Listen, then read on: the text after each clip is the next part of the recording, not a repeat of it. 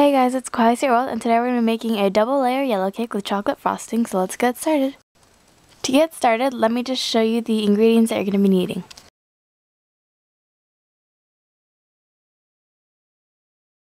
Okay, so first we're going to combine all of our ingredients except for the milk. So here is the flour, a dash of salt, our sugar, vanilla extract, baking powder, and don't confuse baking powder with baking soda. Baking soda comes in a box usually, while baking powder comes in a can of some sort. And then our shortening. So we're just going to try to mix this all up now.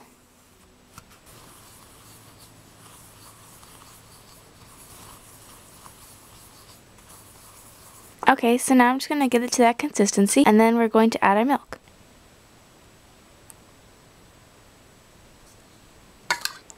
And now just mix your milk in.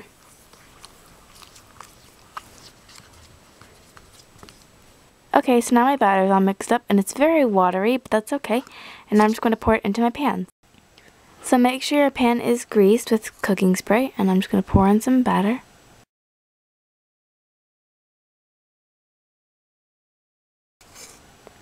And I'm just going to repeat this with my other pan.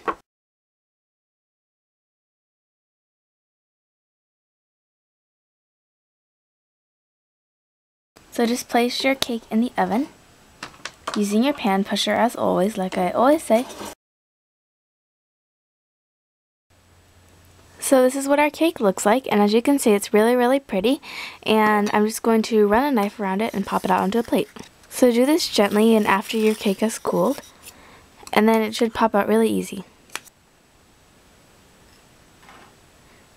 So this is the first layer of our cake here and as you can see it's very pretty and I'm just going to wait for the second layer to come out and then we can start building our cake.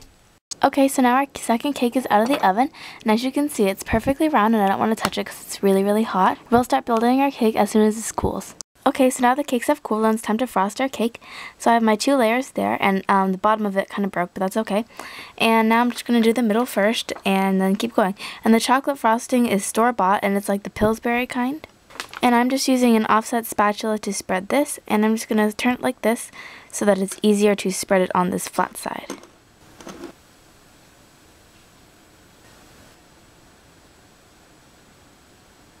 Okay, so now that I have this middle part frosted, I'm just going to put my other cake on top. So now my cake looks like this, and I'm just going to do the top and sides of the cake.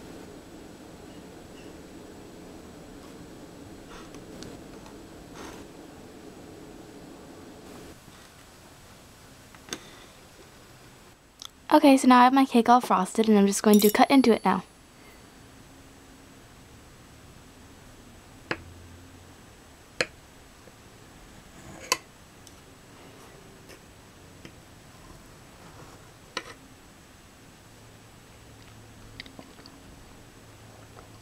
So you can see on the inside there, there's a nice cake and you can see the clear layers in it.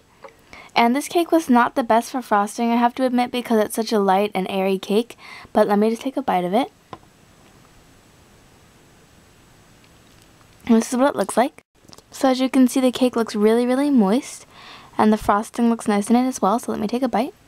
So the cake is really good. Um, it was really fun to make this double layer cake and I hope you guys enjoyed this video. And my only complaint about this is that the frosting is a little rich so maybe just use a different frosting. So yeah, and I suggest you don't eat this entire thing by yourself because there's a lot of frosting on it. So hope you guys enjoyed. Bye.